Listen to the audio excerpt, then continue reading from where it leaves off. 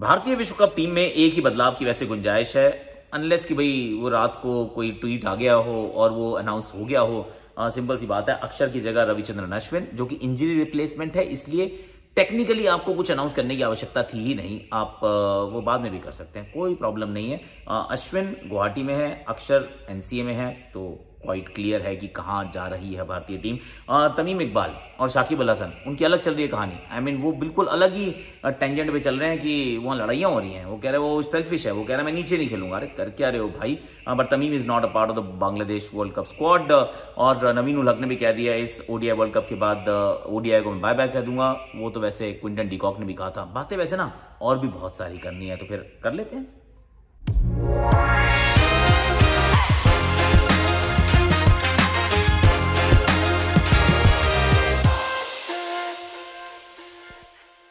Super over में आप सभी का स्वागत है। कैसे हैं आप? अब यहाँ ना बीच बीच में आपको झिंगुर की आवाज़ आएगी, क्योंकि मैं आ गया हूँ, ये कुछ अलग से जगह है, ये हॉलीडे मेरा होम समझ लो, चार दिन के लिए आए हम।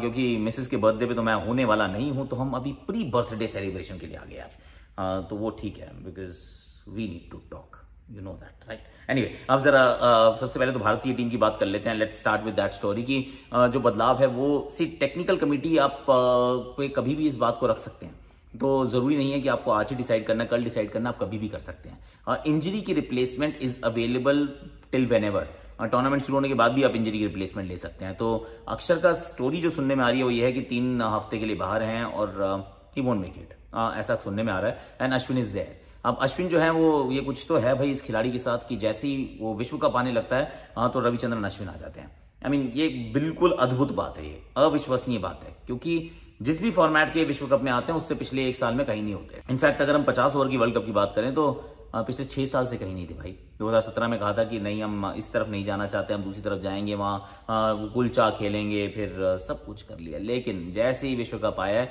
आप वहाँ पहुँच गए। हालाँकि दो हज़ार उन्नीस में नहीं थे, पर 2023 में। 2011 में भी थे। बड़े इंटरेस्टिंग एक्चुअली इनके विश्व कप के वो सफ़र रहे हैं। पर he will be there he will be there Ravichandran Ashwin एकमात्र ऑफ़ स्पिनर के रूप में भारतीय टीम का हिस्सा बनेंगे it's all but confirmed I mean you get the drift right दूसरी जो कहानी है वो कहानी है uh, तमीम इकबाल की अब तमीम इकबाल साहब की और बांग्लादेश की और शाकिब की अलग चल रही है क्योंकि Bangladesh cricket is is a story in it मतलब वो ना सोप ओपेरा है कि एक बंदा कहता है, मैं नहीं खेल रहा। फिर वो प्राइम मिनिस्टर से मिलते हैं। फिर प्राइम मिनिस्टर के बाद कहते हैं, ठीक है हाँ जी मैं देश के लिए करेगा। फिर कहते हैं, मैं नहीं खेल रहा। फिर कप्तान आता कहता है, यार, नीचे बैटिंग कर ले। वो कहता मैं नहीं करूँगा। तो वो कहते मतलब क्या हो क्या रहा है यार? ऑनेस्टली दो बहुत सीनियर खिलाड़ी हैं और जो पहले मुझे खबरें मिली थी, वो ये थी कि बहुत अच्छे दोस्त भी हैं। पर अब तो वो गाना याद आ रहा है। दोस्त दोस्त ना रहा। तो ऐसा प्रतीत हो रहा है। तमीम इकबाल को कह दिया, टाटा बाय बाय और वो उस टीम का हिस्सा नहीं है। शाकिब कह रहे हैं कि, बंदा ही बड़ा सेल्फिश है। मैं नहीं कह रहा हूँ शाकिब ने कहा तो वो उनका आपस में जो बवाल चल रहा है, वो चल रहा है भाई स्टोरी बन गई है।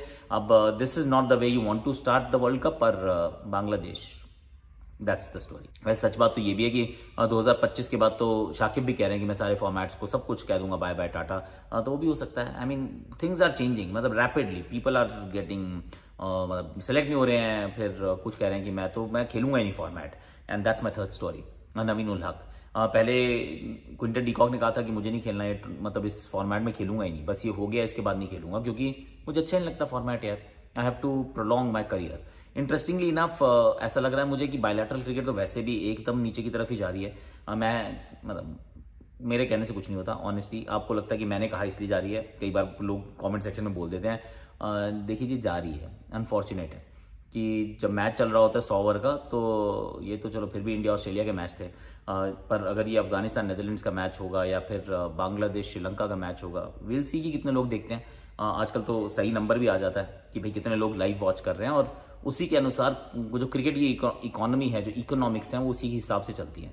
सो सब लोग बाय बाय कहते जा रहे हैं। नवीन उलक ने कह दिया है मतलब क्विंटन डिकॉक ने कह दिया है ओडीआई क्रिकेट को सबसे पहले जो कोई छोड़ रहा है दैट इज़ ओडीआई क्रिकेट मैं नहीं कह रहा हूँ जो प्लेयर खेल रहे हैं वो कर रहे हैं। कर रहे हैं भाई ऑनेस्टली स्वे टू गॉड और uh, एक टेबल पे एक प्रपोजल uh, भी है कि ओडीआई क्रिकेट जो है बायोलेटरल सिर्फ़ हो ही uh, एक साल पहले 2027 में अगर विश्व कप है तो उससे एक साल पहले हो।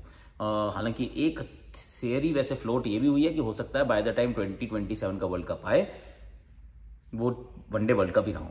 ये भी पॉसिबिलिटी है। ऐसा मतलब थ्योरी सी जरा फ्लोट की गई है। मैंने नहीं किया वंस अगेन पर we shall find out we don't know उसके बाद ये मेरी चौथी स्टोरी है वो है कि ट्रेविस uh, हेड uh, तो है टीम का हिस्सा uh, पर uh, नहीं है एस्टन एगार एस्टन एगार रिकवर नहीं कर पाए मानस लाभूषण उनकी जगह टीम में आ गए हैं।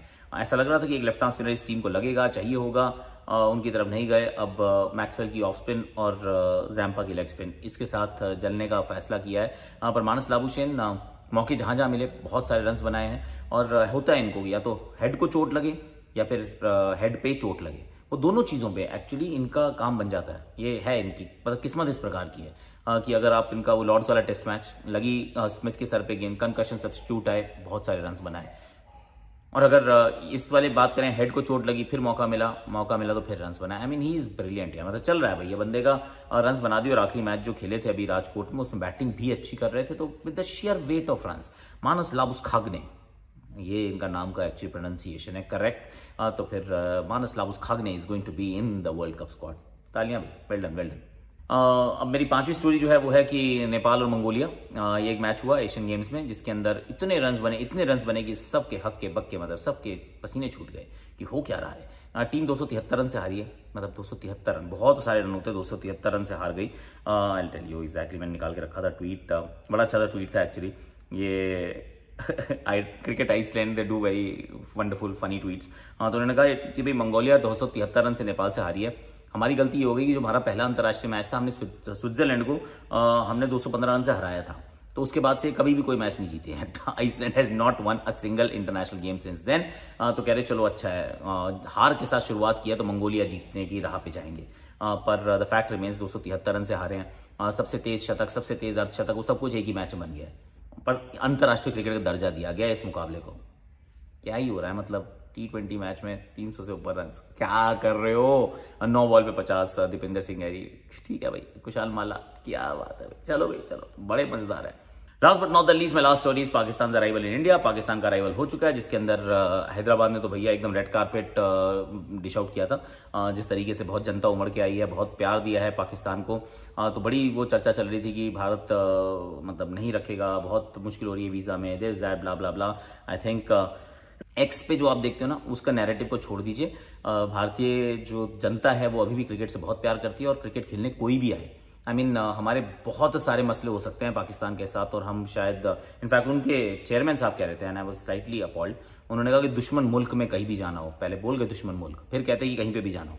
आई uh, मीन ऐसे तो मत बोलो दुश्मन मुल्क में जाने जब हम क्रिकेट खेलने जा रहे हैं ऐसा नहीं कहना चाहिए। और बाकी जो हो रहा है वो तो खैर नहीं ही होना चाहिए। पर क्योंकि आईसीसी का इवेंट है होगा ज़रूर और भारतीय दर्शकों ने अच्छे से अच्छे से स्वागत तो किया है। आप हैदराबाद पहुँचे हैं and you been treated very well and I am pretty sure जो वर्ल्ड कप है वो बहुत अच्छा होगा and Pakistan will feel at home so उम्मीद यही है कि वर्ल्ड कप बहुत अच्छा होगा और uh, पाकिस्तान uh, मैंने तो एक्चुअली हो सकता है टॉप फोर में पिक कर लूँ मैं इनको क्योंकि I have a feeling that they do all right ऐसा मुझे लगता है. आई मीन आपको क्या लगता है? डू लेट मी नो आज के लिए मेरे पास वैसे इतना ही है.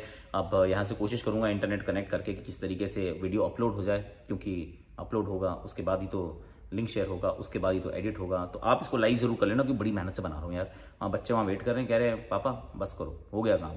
कोई डॉल से खेलने को कह रहा है, कोई टेबल टेनिस खेलने को कह रहा है. वाइफ कह रही है by the way pre birthday celebration तो मेरी है, आप तो वीडियो बना रहे हो। मैं चलता हूँ भैया, चलता हूँ। घर बचाना ज़रूरी है। Tata, bye bye bye bye bye bye.